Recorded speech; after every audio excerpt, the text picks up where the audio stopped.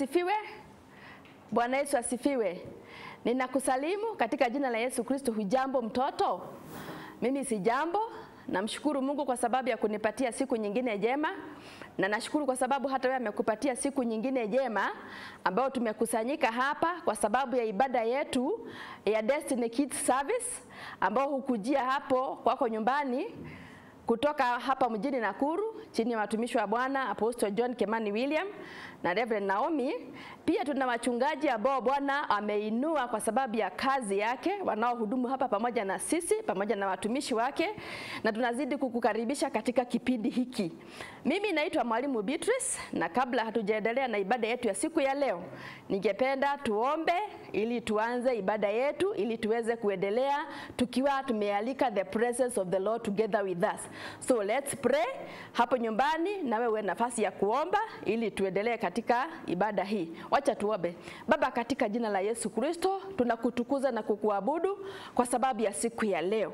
Asante kwa sababu ya siku hii njema uliyoiandaa ili tufurahi na tushangilie tukiwa mbele zako na vile ambavyo umeandaa kila mmoja wetu kuingia katika ibada hii. Tunajua na kufahamu ya kwamba Bwana, wewe umetuleta mahali hapa ukiwa na kusudi lako ili kutufanikisha katika maisha haya katika jina la Yesu Kristo. Na kwa hivyo siku hii yetu, ibada ya siku ya leo tuikabidhi mikononi mwako. Wakati wa ibada za sifa, wakati wa ibada za worship, tunakualika Roho Mtakatifu ndio uweze kutawala na kutamalaki na hata uweze kuwahudumia watoto hawa pamoja na wale wote ambao wanasikiliza na kufuatilia ibada hii. Tunajikabidhi mikononi mwako hata wakati wa presentations na wakati wa neno lako, wakati neno lako litakapohubiriwa mahali hapa, tunaomba ya kwamba utatusaidia kuelewa na kufahamu makusudi yako na kufahamu hata mapenzi yako kuhusiana na maisha yetu ya siku hii ya leo na hata siku zijazo. Twakabidhi mpangilio wote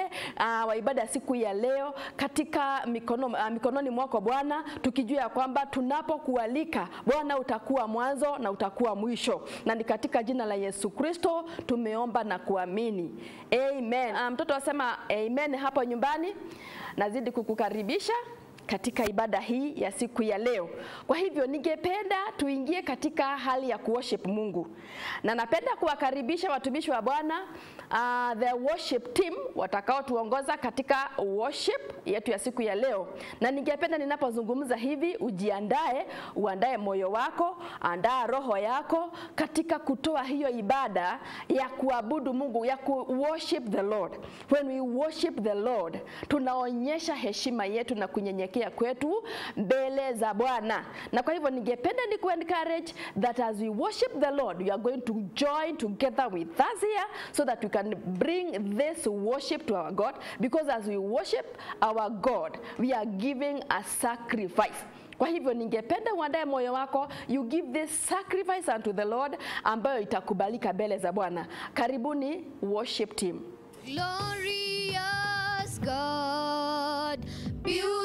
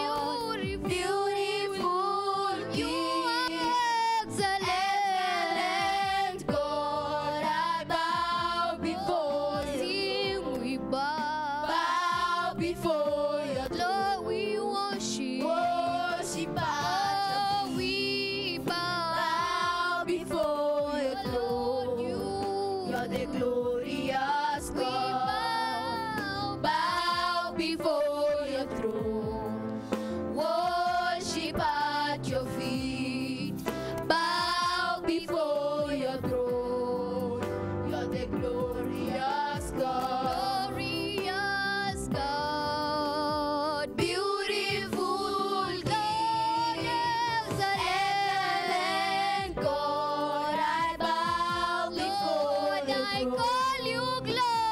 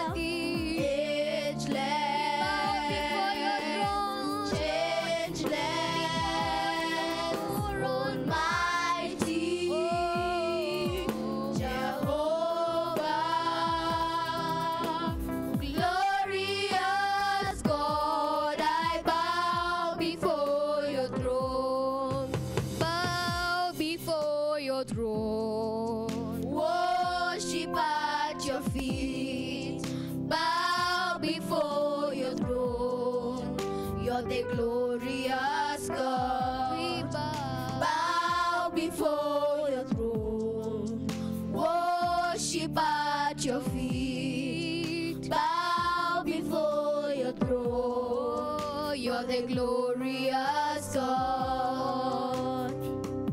Haleluya, Bwana Yesu asifiwe. Na nashukuru Mungu kwa sababu ya ubali huu, na ningependa tuingie katika maombi na tunapoingia katika maombi, kwa sababu mtoto una nafasi ya kujipeleka mbele za Bwana. Kumbuka kila nafsi, kama vile ambavyo neno la Mungu linasema ya kwamba kila ulimi utakiri ya kwamba Yesu Kristo ni Bwana na kila goti litapigwa mbele za Bwana. Hivi ni kusema ya kwamba kila nafsi, kila mtu anayeishi, kila mtu ambaye yuko katika dunia hii ana nafasi ya kujipeleka mbele za Bwana na kunena na Mungu wake, kwa sababu tunapozungumza na kunena na Mungu tunayafanya mapenzi yetu ama maombi yetu yajulikane na Bwana. Na tunapoingia katika maombi, ningetaka nisome neno katika kitabu cha Isaia litakalo tuongoza katika maombi. Neno hili liko katika kitabu cha Isaia tisa kitabu cha Isaia tisa na nitaanza mstari wa sita. Na ninasoma uh, in uh, NIV version. Inasema hivi for to us a child is born and the government will be on his shoulders and he will be called wonderful counselor. Nataka tuelewe na kushika maneno haya. He will be called wonderful counselor mighty god everlasting father prince of peace of the increase of his government and peace will be no end. He will reign on David's throne and over his kingdom, establishing and upholding it with justice, righteousness from that time on and forever.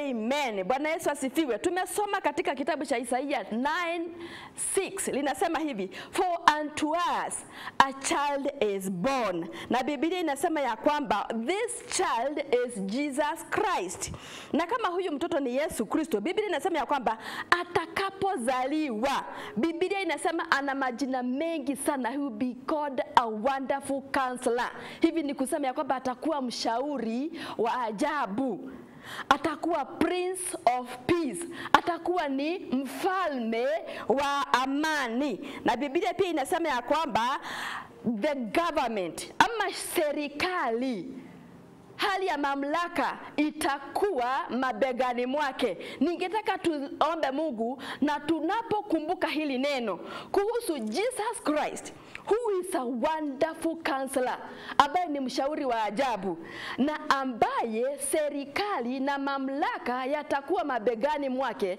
Hivi ni kusema ya kwamba lolote tutakaloliomba katika jina la Yesu Kristo huyo ambaye mamlaka na hata uh, amri iko mabegani mwake. Hivi ni kusema nini? Yeye ana mamlaka yeye ni mshauri wa ajabu. Kwa hivyo tunapomwomba, tunapomwendea, tukiwa na jambo lolote ambalo limetulemea, kama ni mshauri wa ajabu, basi ana nguvu, ana uwezo wa kutushauri na kutuelekeza. Biblia pia imesema ya kwamba yeye ni mfalme wa amani. Kwa hivyo yeyote yule atakayemwendea akiwa na mizigo ndani ya moyo wake, amekosa amani amani, huyo ni mgonjwa. Kuna huyu mshauri wa ajabu, kuna huyu mfalme wa amani atakayeleta amani katika maisha yako, atakayeleta amani katika nyumba yako, na Biblia inasema ya kwamba hata mamlaka yote yako mabegani mwake. Hivi ni kusema ya kwamba utawala wake utakuwa leo hata milele. Kwa hivyo, mtoto, ningependa umwendee huyu mfalme wa ajabu, this prince of peace, ambaye atatusaidia kubeba mizigo yetu, na Biblia inasema ya kwamba come to me all ye that labor and I will give you rest. Kwa hivyo siku hii ya leo, kama kuna mambo ambayo yako ndani ya moyo wako na yanakufinyilia, mambo hayo yanayokutesa, una jukumu, una nafasi ya kuyapelekea huyo ambaye ni mfalme wa amani, huyo ambaye mamlaka yako mabegani mwake na anaweza kuamuru hali yoyote katika maisha yako, na Biblia inasema ya kwamba tunaweza tukiamini kuamuru mlima ukatoka ama ukang'oka kutoka mahali pamoja mpaka mahali pengine, kwa sababu tunayemwamini ni yule ambaye anaamrisha hali. Tunakutukuza Mungu wetu wa mbinguni kwa sababu wewe ni mwema na mwaminifu, na hata kwa sababu ya kutupatia Yesu Kristo ambaye ni mwanao ambaye alizaliwa ili naye aje atusaidie kutukomboa na kutuondolea hali zilizotulemea katika maisha haya. Na kwa sababu wewe Yesu Kristo ni mfalme wa amani, tunaomba ya kwamba siku hii ya leo wale ambao hawana amani, wale ambao wamelemewa na mambo ambayo yamekuwa mzigo kwao, unaweza kuamuru hali hizo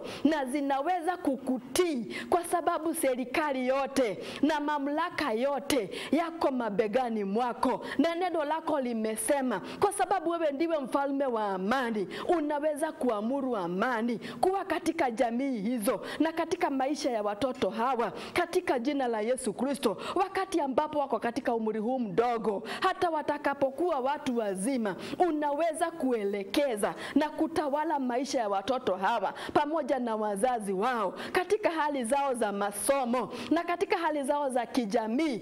Ewe Yesu Kristo ambaye ni mfalme wa amani, na wewe ambaye ni mshauri wa ajabu, unaweza kuwashauri na kuwaelekeza katika njia za haki na katika hekima yote inayopatikana ndani yako, kwa sababu wewe ni mshauri. Tunakuaminia maisha yetu wakati sisi ni watoto wadogo, hata tutakapokuwa watu wazima. Ibada ya siku ya leo tunaibariki na tunaomba ya kwamba utawabariki watakaoshiriki hapa na wale ambao wako pale nyumbani. Wakati neno lako linaponenwa na kuletwa hapa na mwalimu wetu, utalifuata hilo neno lako ili kuhakikisha kwamba limetimiza kusudi lako, kama vile ambavyo neno lako limesema ya kwamba wewe hulifuata neno lako na kuhakikisha limetimiza kusudi lake. Katika jina la Yesu Kristo tunajiachilia mikononi mwako, tunapoamini ya kwamba utakuwa pamoja na sisi hapa tunapoanza ibada yetu ya siku ya leo hata tutakapomaliza, na ni katika jina la Yesu Kristo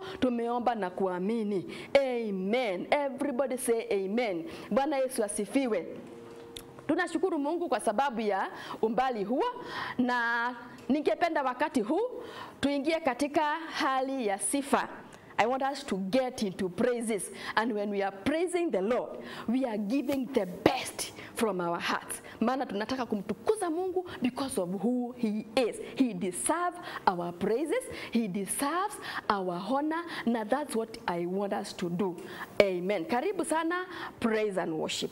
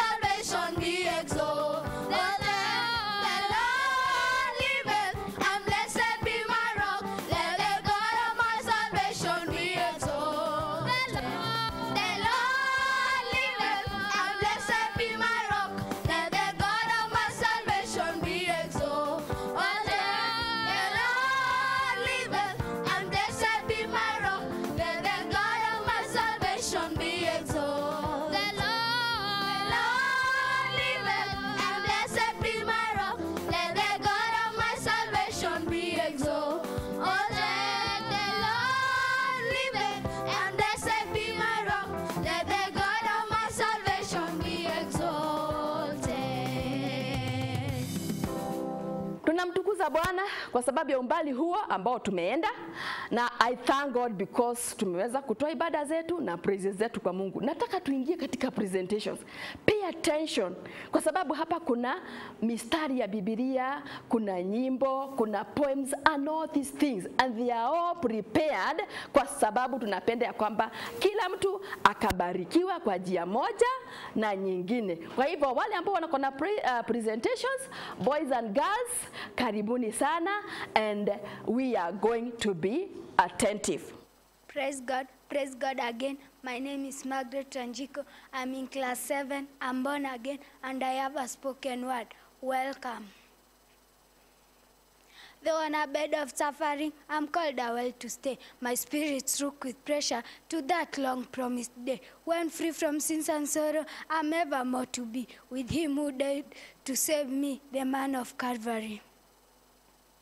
My weary days of suffering will soon have passed away, and rest is him the sitter in heaven's eternal day. So, with the hope before me, impatient I will be, sustained in my affliction until thee face see me.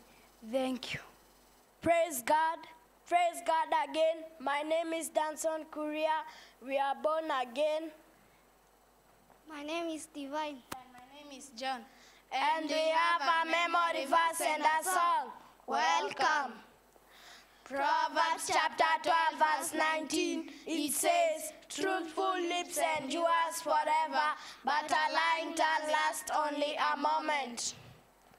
And the song goes, The angels are singing Hosanna in the highest. The angels are singing Hosanna in the highest.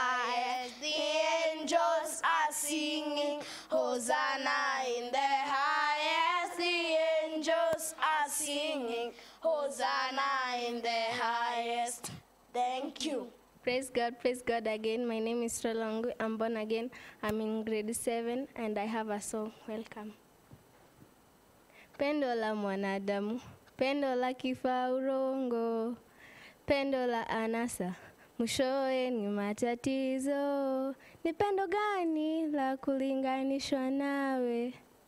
Msalabani kanifia Bwana wangu.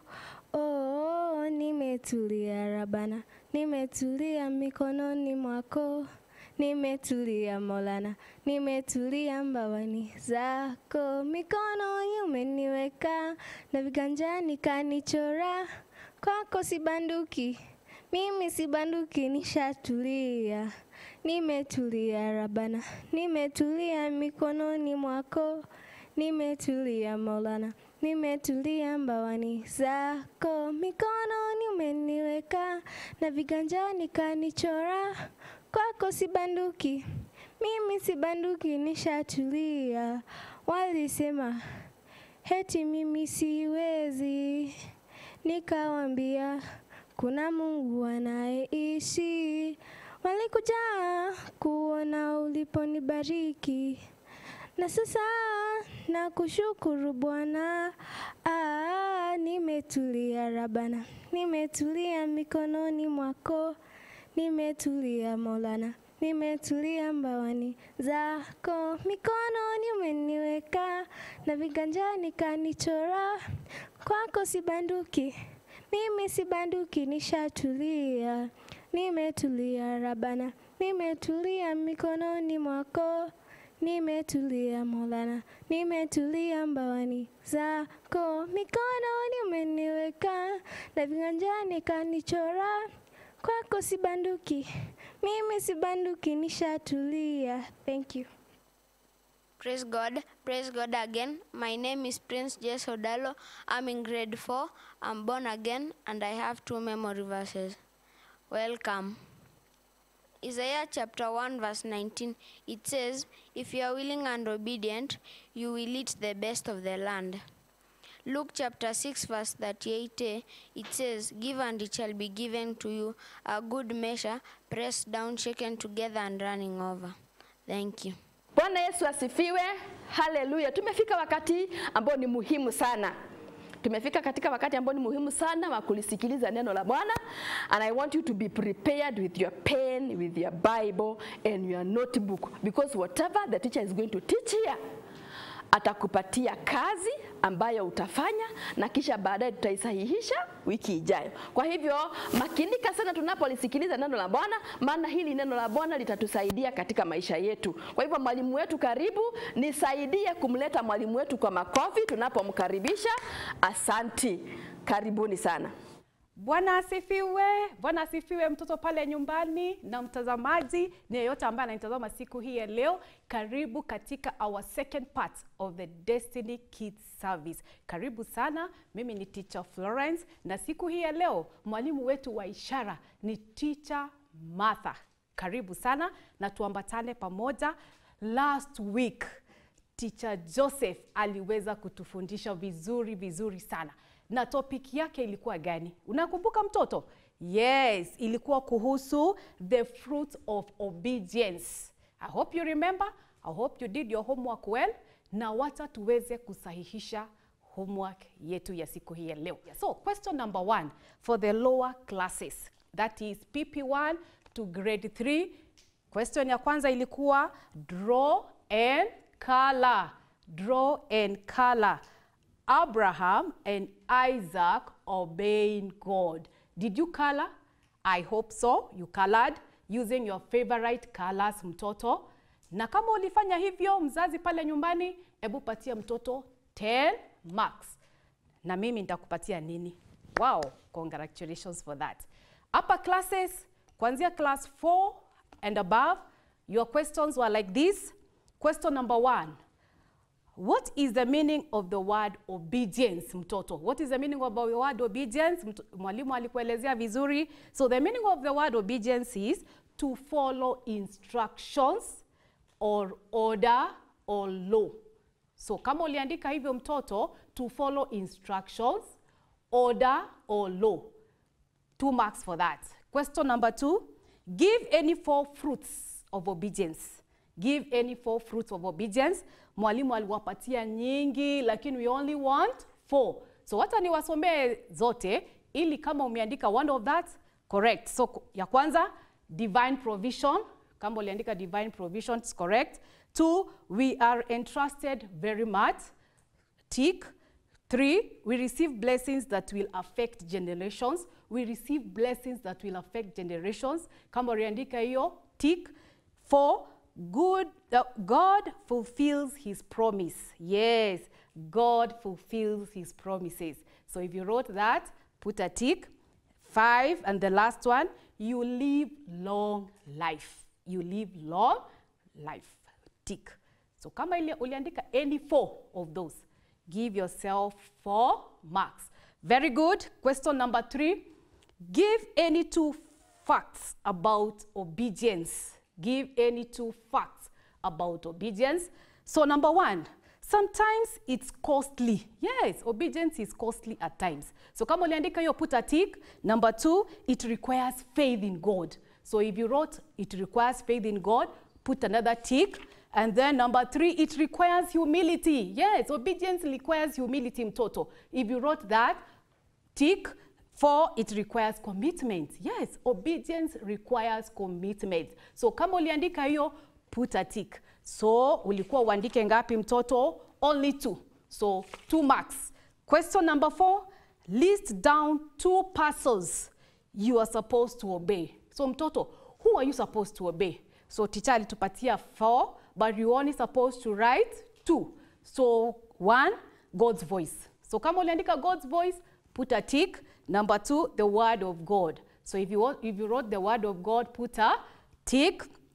Number three, parents. Yes, you're supposed to obey our parents also. So if you wrote parents, put a tick. Number four, destiny helpers. So if you wrote destiny helpers, put another tick. So a total of two marks. So zote zinakuja ngapi mtoto? Umehesabu? Yes. 10 marks. So kama umepata zote, congratulations. Kama umeanguka moja mbili, do the corrections na Mungu ataweza kukubariki. Na hope we are together. So mtoto, let us go to our topic for today. It's about mental health. Mental health. Mtoto, hebu sema mental health. Mental health. Yes. What is mental health? Kwa Kiswahili tunaweza sema afya ya kimawazo. Eh? Afya ya kimawazo. Na unajua mawazo yako yako wapi? Yako katika your mind, akili yako. So wakati tunapojifunza kuhusu mental health, we are talking about our mind, mawazo yetu, akili yetu. That is what we shall be talking about. Na je, mental health ni kusema nini? It is a condition that affects how you feel, how you think and how you act. Hii ni hali ambayo inakusababisha wewe vile unavyofikiria, vile unavyohisi ndani yako na vile unavyotenda mambo katika maisha yako, mental health. Na yote nimesema iko wapi? Kwa akili, mtoto. Wow, I hope tuko pamoja. Wacha tusikie Biblia inasema nini kuhusu mental health. So we shall be reading Romans 12 verse 2. Inasema nini? Be transformed by the renewing of your mind. Be transformed by the renewing of your mind. What is to transform? Kutransform inamaanisha to change, kubadilisha hali yako ya kimawazo. Eh? What is to renew? Renew means replace. Eh? Ebu badilisha hali ya kimawazo. Yale ambayo unafikiria siku hii ya leo, badilisha na uweke mambo mapya ambayo yatakusaidia katika maisha. Yote yako katika mawazo yako. So let us be transformed mtoto, let us be renewing of our minds na Mungu ataweza kutubariki. So wacha tuende to our next step. What causes poor mental health? Do you know you can have poor mental health mtoto? Hebu tuone ni nini linasababisha kuwa na poor mental health, wakati mawazo yako ama akili yako ama vile unavyofikiria it is affected. So what causes? Number one, low self-esteem. What is self-esteem? Self-esteem ni ile hali ya kujipenda eh? So wakati uko na low self-esteem, wewe haujipendi yaani wewe unaona mimi siwezi mimi sistahili mimi hata siwezi simama mbele ya watu ni answer questions pale shuleni. You have low esteem. Na hiyo imekuingia kwa mawazo yako. Number two social isolation. So what is social isolation mtoto? Social isolation ni mahali umetengwa na marafiki zako. Marafiki wanasema oh mimi huwa sitaki kukaa na yele sitaki kukaa na yeye sitaki ku, ku, kucheza na yeye that is social isolation hata pale nyumbani unakuwa isolated unatengwa na watu wenyu unatengwa na your sisters hmm, we unasumbua usikae karibu na mimi that is uh, that is one cause of mental health, poor mental health. Number three is drugs and bad habits. Yes, drugs and bad habits, mtoto. What are drugs? Drugs are things that we take inside our bodies ambayo inatubadilisha vile tunavyofikiria. Na these drugs can make you to have poor mental health. For example, bangi, mira, hizi zote zinatuharibu ama zinafanya mawazo yetu ibadilike. Even bad habits.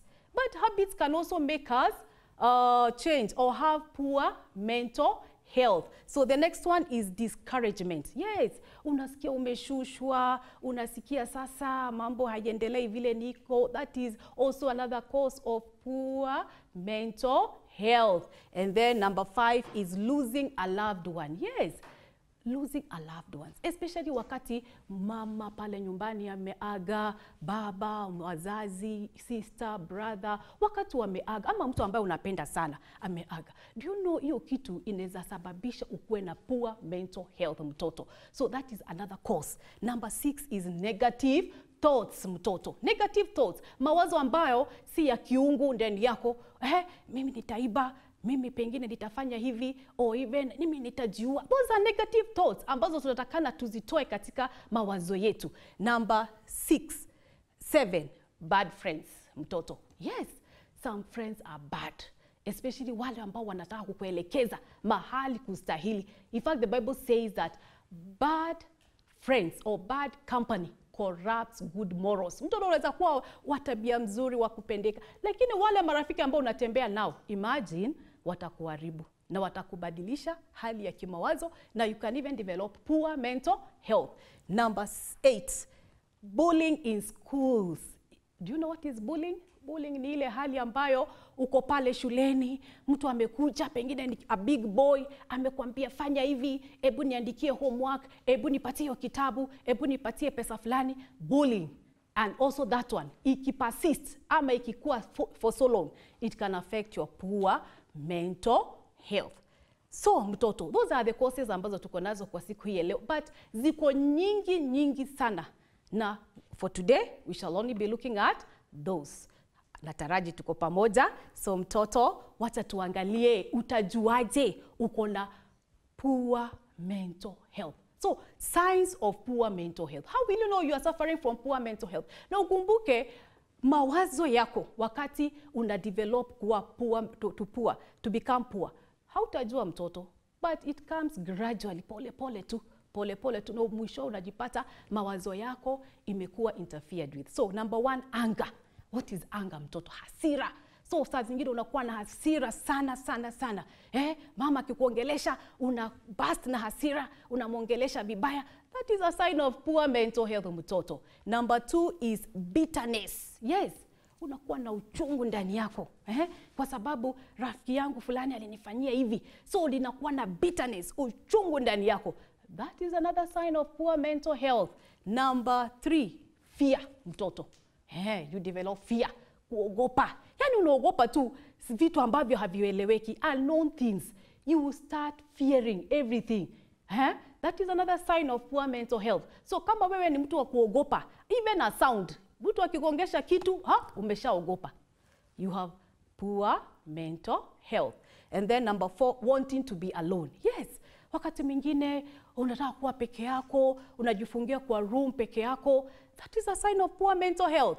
Utaki kuongelesha marafiki zako, utaki kucheza. Poor mental health, a sign of poor mental health. So wakati unajihisi you just want to be alone, oh, utaki kuongea na mom, utaki kuongea na your sister, unataka tu kuwa peke yako. That is a sign of poor mental health. And then Five, lack of concentration. Yes, uko pale shuleni, mwalimu anafunza, lakini mawazo yako hayako pale. Poor concentration pale shuleni. That is also another sign of poor mental health. Hebu tuwe watoto wa kuconcentrate pale shuleni na ukiona uconcentrate vile ticha anasema, mama anasema pale nyumbani, hebu jua kuna mambo ambayo haiendi vizuri katika mawazo yako. And then the last one is panic. Yes, you start panicking. Eh? Hujui nini itatokea kesho kwa sababu ile jambo negative thoughts already zimeingia kwa mawazo. So umeanza kudevelop panic, eh? Especially wakati huu wa corona, tuko nyumbani, hatujarudi shule. So unaanza kupanic. Oh, shule nitarudi kweli? Nitamaliza kweli? You start panicking. Everything goes to your mind. Amen mtoto, nataraji tuko pamoja. There are very other, many other, many other signs of poor mental health. But for today, tutaangalia only those ones. So mtoto, how do we protect ourselves? Nimekuambia causes, nimekuambia signs, but there is a way that you can protect yourself from these poor, from having poor mental health. So number one is love yourself always. Yes, mtoto, hebu jipende. Kuwa wa kujipenda. Hata Biblia inasema love your neighbor as you love yourself. Kumaanisha nini? Lazima ujipende kwanza ndio upende wengine. So it's always good to love yourself. Hata kuna Biblia inasema you are fearfully and wonderfully made. Hebu kila siku unapoamka unajiangalia kwa kioo, unasema mimi I am fearfully and wonderfully made. Yes, mtoto, love yourself. Eh? Kuwa wewe, we, yani be yourself and love yourself. Na wakati unajipenda, ha, you'll develop good mental health. And then number two, having positive minds. Yes, hebu kumbuka tulisema causes of poor mental health ni negative thoughts. Eh? So you are supposed to develop positive thoughts. Hebu sema mimi nitasoma, nitakuwa mtu fulani katika hii maisha. Eh? Have positive thoughts and always meditate on the word of God always weka positive thoughts ndani yako na zitaweza kukusaidia katika maisha and then number four is do something you like you, you, you are good at. Again do something you are good at. Mtoto what do you like doing? And that's why every day tunakuja hapa tunakwambia draw. So if you like drawing draw. If you like singing you sing what you like. If you like acting ebu act. Whatever you like doing do it with all your passion. Kwa sababu hapo ndio your talent so do it. Do what you like doing all the time na mungu ataweza kukubariki. So number five express your feelings. Yes hebu express your feelings. Wakati you are sad unasikia umeshushwa moyo hebu enda kwa mam hebu enda kwa ticha umwambie unajua ticha mimi nasikia hivi na hivi. Toa mawazo yako toa ile kitu inakusumbua ndani yako kwa sababu hiyo kitu ambayo iko ndani yako ndio inasababisha poor mental health always express your feelings. Go to your sister big sister mwambie sister unajua mimi nilifanya hivi na hivi na hivi na hisi hivi na hivi. Talk it out. Express your feelings. Vile unavyohisi. Na ukifanya hivyo your mental health il, will improve. And in, in other words you'll protect your mental health. And then reading the word of god. Yes. Oh, let us be doers of the word yani wacha tusome neno. Na wakati tunasoma neno memory verse eh? naye mungu anatusaidia anasaidia mawazo yetu. And then the, the, the, the, number seven uh, -huh, is prayer and fasting. Yes mtoto. Ebu omba kila wakati eh? na fast all the time also. This one will also protect your mental health. As we pray enda mbele za mungu mwambie mungu nisaidie mawazo yangu eh? Do you know mawazo yako imebeba imekubeba? In fact mawazo ndio inabeba kila kitu katika mwili wako. Hebu kwa mfano umegongwa mkono. Hiyo uchungu the first place inaenda ni katika mawazo yako. So mawazo yetu imebeba our whole body. So it is good to go before god na umwambie oh mungu nisaidie katika mawazo yangu. Even pray always pray and fast for this. And then the last one mtoto number eight playing with your friends. Do you have friends? Yes. Go play with your friends. Saa zingine kucheza ni mzuri eh? lakini si kucheza tena the whole day. Have some time to play also cheza na marafiki zako. Wale ambao ni wazuri. Nimesema marafiki wazuri. Sio wale ambao watakuambia twende tukaibe maembe twende tukaibe hapa. Hapana. Ni wale ambao wanakuelekeza with good values. Those are your friends. Play with them. All the games that like cheza eh? mpaka usikie mwili kweli leo nimecheza. Hata ukirudi home unapata mam unamwambia hey, mam leo nimecheza nimechoka. Na wakati unafanya hivyo hey you are improving or you are protecting your mental health. Mtoto i hope tuko pamoja.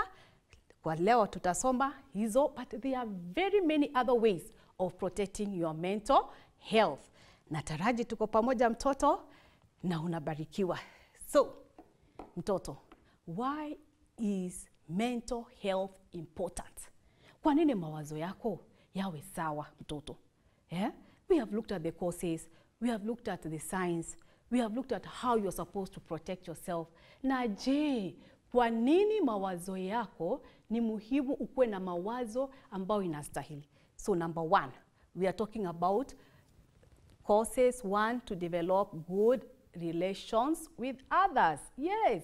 Hey mtoto hata ukiwa pale nyumbani uwezi kuwa na a good relationship na wazazi wako kama mawazo yako ni poor. If you have poor mental health na kuambia hautasikizana na mtu pale nyumbani. Hata shule hata walimu hey. Lakini wakati mawazo yako you protect them. Ni sawa you have good mental health.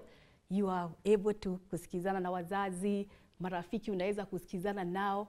Yes number two it improves our physical health. Yes our physical health. Nikuambia mawazo yetu imebeba all parts of our bodies our physical health so wakati mawazo yako iko sawa hey the whole body is functioning well mtoto yeah? unaweza kimbia unaweza fanya nini physical health kwa sababu mawazo yako yako sawa lakini wakati you have poor mental health and you know mtoto poor mental health can also lead to madness eh? You see people who are walking around. Watu ambao wanatembea huko barabarani. Wanaokota hii wanaokota hii. Kwa sababu mawazo yao has been affected. Na unajua wakati anaokota karatasi na nini? Mwili mwingine all the other parts of the body ziko sawa. Lakini mawazo ndiyo haiko sawa. So wakati tuko na good mental health we can improve our physical health also and then number three we are able to cope with various challenges of life. Yes mtoto hii maisha iko na challenges nyingi sana especially pale nyumbani. Pengine kuna poverty umaskini eh? pengine hujakunywa chai kuna chakula hauna nguo smart. Those are some of the challenges that you have pale nyumbani. And you see wakati mawazo yako iko sawa mtoto you're able to cope up with these challenges za nyumbani za shule na za maisha yako mtoto. And then number four improves academic performance. Yes tulisema poor mental health causes lack of concentration. Hey, mwalimu anafunza tu hata usikii mawazo yako iko mahali pengine. Lakini wakati mawazo yako iko sawa you are able to listen to the teacher you are able to listen to your mom your parents na yote pale nyumbani na sana sana pale shule. Mpaka your academic performance hey, unakuwa namba mzuri na unakuwa na marks mzuri. Kwa nini? Your mental health is good. You have good mental health. Wow mtoto. Those are some of the importance but there are so many of them. Lakini kwa leo tutajifunza hizo. I hope you are together mtoto pale nyumbani na una bado unaandika na bado unafurahia our topic for today. So mtoto there are three important reminders that i would like you to remember this day. Number one you matter. You matter a lot mtoto. Usiseme mimi mtu hakuna mtu ananijali hakuna mtu ananishughulikia. Hapana mtoto. You matter a lot eh? wewe ni wa dhamana. Wewe ni mshindi. You matter a lot. Ebu every morning ukiamuka unasema mimi ni mshindi mimi ninaweza eh? you matter a lot mtoto it doesn't matter watu wamesema nini kukuhusu wewe una matter you matter a lot in this life and then number two you are loved yes mtoto you are loved number one god loves you so much Eh? God loves you so much. Number two, wazazi wako wanakupenda. Hmm? Hata kama wakuambii wanakupenda sana. Hata pale shuleni walimu wanakupenda. Hata marafiki zako wanakupenda. Hmm, hata mimi ninakupenda sana mtoto. So can you feel hebu jihisi, mimi ninapendwa. Number one, ninapendwa na Mungu, ninapendwa na wazazi wangu, hata ticha pale shule ananipenda. Hey, na ukifanya hivyo you're protecting your mental health. And then number three, everything will be okay. Mtoto, kila kitu itakuwa sawa. Everything will be okay. Eh?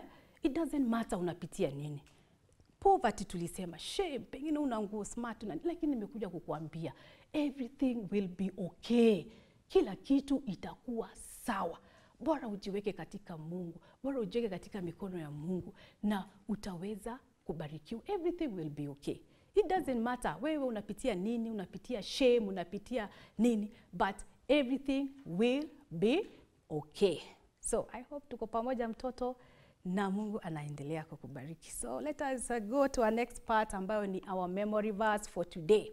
So our memory verse for today mtoto comes from the book of Colossians 3 2 na ninasoma NIV. So inasema nini mtoto? Set your mind on things above, not on earthly things. Mtoto, set your mind. Where are you setting your mind? Nilisema toa those negative thoughts. Ebu tuweke the new or positive thoughts. Eh? Renew your mind. That's what our, our scripture said. Renew your, transform, change. So wakati tunasema set your mind on things above, ebu kila wakati mawazo yako ikuwe na positive thoughts, godly thoughts. Eh? Toa yale evil thoughts. Ndio inasema not on earthly th things. Wachana na earthly things mtoto, kama kuiba, jealousy, hatred. Toa hizo katika mawazo yako, lakini weka love eh? weka kindness, weka honesty. That is what our memory verse says. Hebu turudie tena mtoto for the last time. Colossians 3 2. It says, set your mind on things above, not on earthly things, mtoto. So, mtoto, how will you set your mind on things above? You'll only set your mind on things above wakati unamkaribisha huyu Yesu katika maisha yako. Unaambia Yesu, nataka kuwa rafiki wako, ili wakati unakuja katika maisha yangu ninaweza kubadilisha mawazo yangu. So mtoto, ni vizuri kujuana na huyu Yesu na ni vizuri kuokoka ili ukuwe rafiki wake kila wakati. So mtoto, kama hujaokoka pale nyumbani na ungependa kuokoka, mzazi na yeyote ambaye ananitazama siku hii ya leo, ningependa nikuelekeze katika maombi ya kutubu ili uweze kushikana na huyu Yesu. Hata Yesu atakusaidia katika mawazo yako. So funga macho mtoto, mzazi, mtu yeyote ambaye ananitazama pale nyumbani ili tuweze kuomba. So sema, Bwana Yesu, siku hii ya leo nimekuja mbele zako, ninakili mimi ni mwenye dhambi, nioshe, unifanye kiumbe kipya, na kutoka siku hii ya leo nimeokoka, nisaidie na uweze kutembea na mimi. Amen. Amen mtoto. Amen. You may renew your life, umerenew your mind, ume transform, you have changed, you become a new creature mtoto. Na wakati unaendelea walking with Christ, Mungu naye anaenda kukuendelea kukusaidia katika mawazo yako na Mungu ataendelea kukusaidia. Wow, mtoto. Ninaona muda wetu unaendelea kusonga na ningependa tuongee zaidi na zaidi kuhusu mental health, lakini tutaatia hapo. Lakini before niyemalize, nataka kukuachia homework. Na wacha hii homework ufanye vizuri, kwa sababu hii homework itakusaidia in your mental health by improving your mental health. So PP1 to grade 3, are you ready for your homework? I hope so. So draw and color yourself playing with other children. Draw and color yourself playing with other children. So color properly. Eh, wewe ukicheza na rafiki yako your best friend, hata andika jina yake hapo. Mi nacheza na Susan, nacheza na John, yeye ndio my best friend. So draw using your favorite colors and color well. Uta download hiyo copy ya drawing and coloring from where? mbcimedia.com.co slash kids Again, mbcimedia.co slash kids. Hapo ndio utapata hiyo portrait. So, upper classes, number one, give three causes of poor mental health. Yes, we have given them, tumekupatia nyingi, but I only want three. So, three marks. So question number two, give three signs of poor mental health. Mtoto, give three signs. I have given you so many, but I only want three. Mtoto. And then question number three, give two ways that we can protect our mental health. How can you protect your mental health, Mtoto? We have given you so many, but nataka ngapi? Two. I only want two. And then the last one, give to importance of mental health. Yes, mtoto, I've given you importance of mental health, so I only want two. So a total of 10 marks. Wow, we've come to the end of our service for today mtoto. Nataraji umefurahia our topic for today na Mungu ataendelea kukubariki ili aweze kuprotect your mental health. Ebu kumbuka you matter mtoto, you are loved mtoto and everything is going to be okay. Every morning you wake up, ebu imba, I am fearfully and wonderfully made. Na Mungu ataweza kukubariki. So, wacha tuombe tunapomaliza. So, funga macho mtoto pale nyumbani, tuombe. Baba, katika jina la Yesu Kristo tunakuja mbele zako tena tukisema ni asanti kwa umbali huu, ni asanti kwa our service for today, Destiny Kids Service. Ni asante kwa sababu siku hii ya leo umetufundisha kuhusu mental health. Hebu bariki mtoto pale nyumbani, improve their mental health in the mighty name of Jesus Christ. We honor you and glorify your wonderful name, and it is in Jesus' name we do pray and believe. Amen. Bye bye mtoto. Bye bye.